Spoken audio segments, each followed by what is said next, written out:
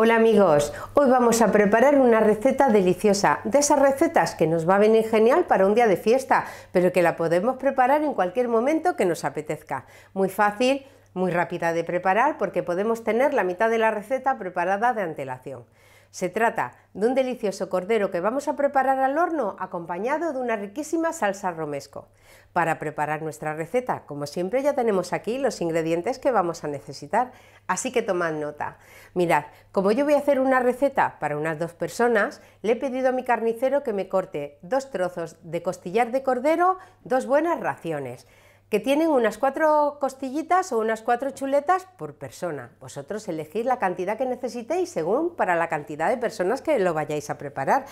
Tengo aquí, como os he dicho, mirad, unas costillas de cordero estupendas, unas ramitas de romero, pimienta negra, tomillo mm, seco, del que encontramos fácilmente en cualquier supermercado. Le pondremos un poquito de aceite de oliva virgen extra y sal. Con esos ingredientes prepararemos un cordero riquísimo y muy fácil. Y nuestra salsa romesco la vamos a preparar con unos 3 o 4 tomates maduros, depende del tamaño y de la cantidad de salsa que queráis preparar. Yo tengo aquí unos 4, tomates, pero que son de un tamaño un poquito pequeño, por eso tengo 4. Una rebanada de pan tostado. Tres ñoras. Las ñoras son pimientos secos, pimiento seco que no es picante, que es un pimiento dulce. Una cabeza de ajos, tengo frutos secos, avellana tostada y almendra tostada, unos 30 o 35 gramos de cada fruto seco. A ser posible que no tengan sal, hacerlo vosotros mismos, no cuesta nada hacerlo en una sartén o en un ratito en el horno. Le pondremos también una cucharadita de pimentón dulce, un poco de sal, aceite de, aceite de oliva virgen extra abundante. Utilizaremos aproximadamente unos 50 mililitros, pero la cantidad exacta yo no la puedo decir ahora, porque será la que nos pida nuestra salsa y vinagre de jerez o vinagre de vino blanco. Con estos ingredientes vamos a preparar una receta estupenda y la podemos acompañar con una ensalada de vuestra preferencia. Así que vamos a comenzar a cocinar. Lo primero que vamos a hacer va a ser preparar el horno a 200 grados con calor arriba y abajo y vamos a poner nuestros tomates en una bandeja para hornear y la cabeza de ajos y los vamos a llevar a hornear durante unos 25 30 minutos para que se ase muy bien el tomate y la cabeza de ajos también se ase muy bien. Y mientras tanto se nos asan los ajos y, la, y los tomates, a la ñoras le vamos a quitar las semillas de su interior. Y tengo aquí un bol que he puesto con agua caliente o con agua tibia, no hace falta que esté hirviendo. Lo rajamos un poquito y le retiramos todas las semillas. Los vamos a poner a hidratar en el agua tibia durante unos 15 minutos, mientras se nos asan nuestros tomates y nuestro ajo.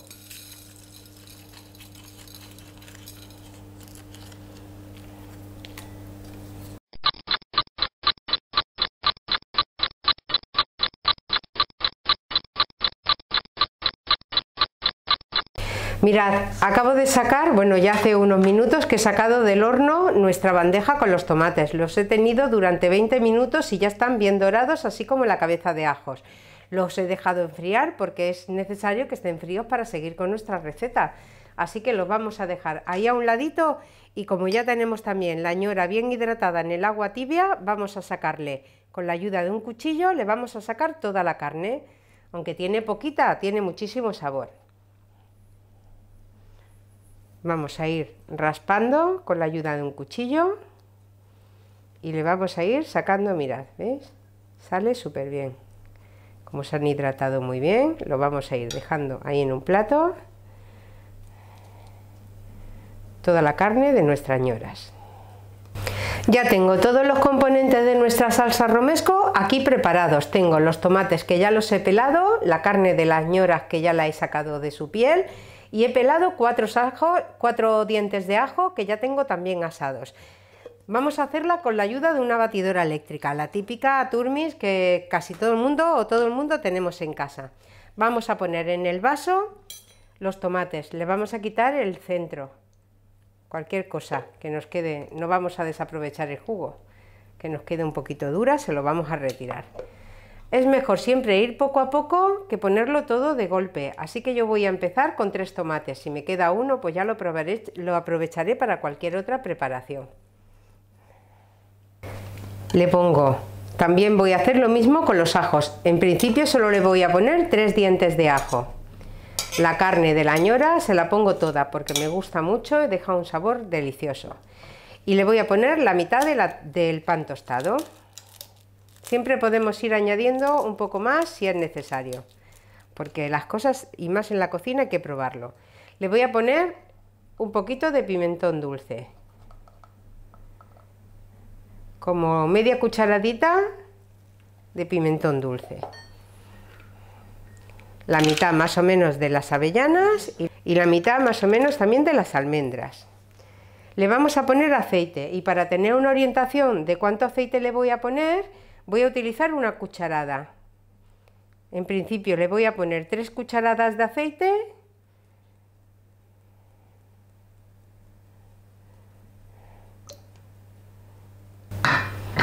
y media de vinagre.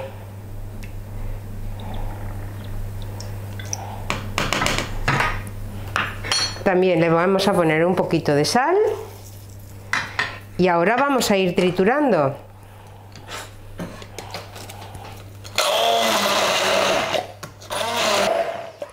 Lo acabo de probar y le voy a poner el resto de ingredientes que tenemos preparados. Eh, con ajo, el ajo con los tres dientes que le he puesto es suficiente porque eran tres dientes de ajo hermosos y el sabor del ajo ya está presente, no necesita más.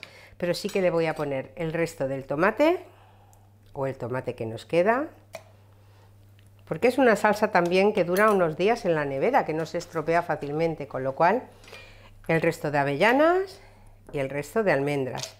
Pan no le voy a poner más y sal le voy a poner un poquito más porque estaba un poquito sosa. La sal siempre será a nuestro gusto. Le voy a poner un poquito más de vinagre y el vinagre también. Ir probando la receta y vosotros mismos le vais a dar el sabor que más os guste. Y una cucharada más de aceite. Voy a triturar y si veo que se queda la salsa un poquito ligera, le añadiré un trocito más de pan.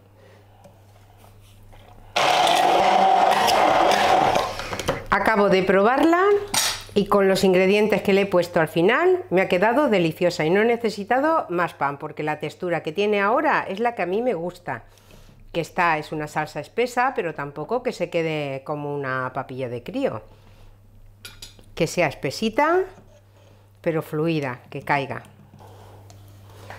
Nuestra riquísima salsa romesco ya la tenemos preparada para utilizarla cuando queramos y deciros que es una salsa también que se le puede poner un poquito de picante. Le podemos poner pimienta de cayena o algún trocito de guindilla de nuestra preferencia. Si gusta que esté sentidita de picante, siempre lo haremos a nuestro gusto. Yo para esta receta en concreto me gusta más que sea sin picante, así que ya solamente la voy a poner en la salsera para utilizarla cuando la necesite. El cordero lo podemos asar así entero o hacerlo en forma de carré. Yo he elegido o lo voy a preparar en forma de carré. Para prepararlo simplemente vamos a coger un cuchillo a ser posible que esté afilado y vamos a ir retirando la carne del hueso sin llegar a cortarla por completo. Primero por la parte donde vemos los huesos de la costilla. Vamos cortando sin prisa. Esto también se lo podemos pedir que nos lo haga nuestro carnicero. Y si al principio no nos sale bien, pues insistiendo cogeremos práctica y al final nos saldrá muy bien. Vamos marcando las incisiones alrededor o pegaditas a la costilla del cordero.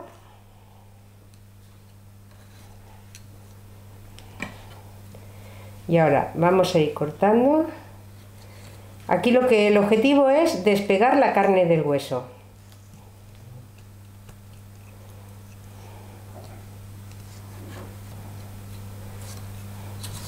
Apoyando siempre el cuchillo contra el hueso. Vamos a ir estirando hacia atrás y cortando también. Nos llevaremos la carne que hay en la separación de entre las dos costillas.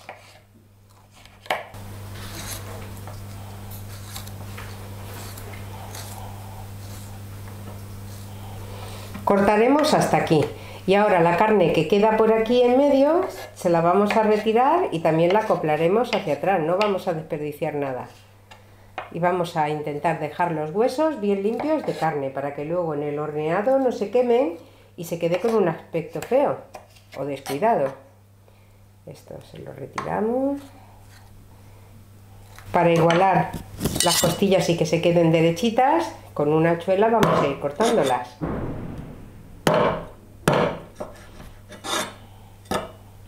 Y ahora vamos a ir despegándole toda la carne que podamos. Una vez que las tenemos bien descarnadas, con todas las piezas de carne haremos lo mismo. Así que vamos a ponerle sal al gusto por la parte de dentro y por la parte de fuera. Le ponemos pimienta negra recién molida al gusto, un poquito de tomillo, de tomillo seco, y ahora la ramita de romero se la vamos a colocar aquí, justo en la base donde hemos acabado de cortar la carne. Vamos a plegar en dos o en tres veces para que se quede un rollito bien formado. Y ahora me voy a lavar las manos un poquito para atar nuestra carne y que se quede bien atadita para que no pierda la forma. Voy a utilizar hilo de cocina, son estos ovillos que venden en tiendas de donde ferreterías o donde se venden productos de menaje para la cocina, muy fáciles de encontrar. Entonces vamos a cortar una buena tira y así no ensuciamos el resto. Siempre es conveniente tenerlo bien guardado, que no coja suciedad. Y vamos a ir pasando por entre las costillas, hacemos un nudito Y ahora simplemente vamos a bridar, que se trata de, enrollar la carne para que no pierda la forma.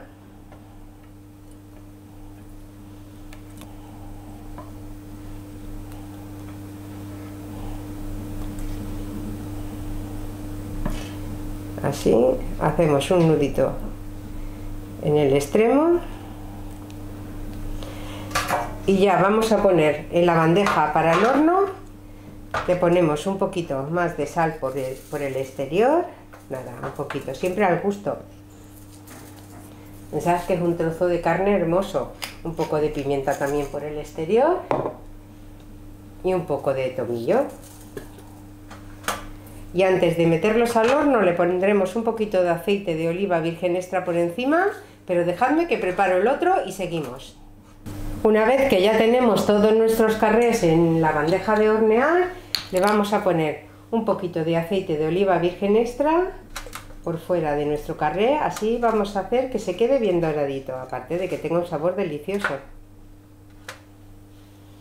Y ya como tengo el horno precalentado a 200 grados, lo voy a hornear a, la misma temperatura, a 200 grados, entre 25 y 30 minutos. Cuando veamos que nuestra carne está bien dorada, ya la tendremos lista.